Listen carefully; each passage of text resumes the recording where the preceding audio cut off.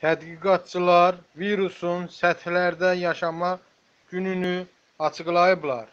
Son xəbər az Türkiyə mediasına istinadən xəbər verir ki, tədqiqatçılar koronavirusun kağız üzərində 3 saata qədər, geyim və işlənmiş ağac üzərində 2 günə, şüşə üzərində 4 günə qədər və plastik səthlərdə 1 həftəyə qədər davam edə biləcəyini araşdırıblar.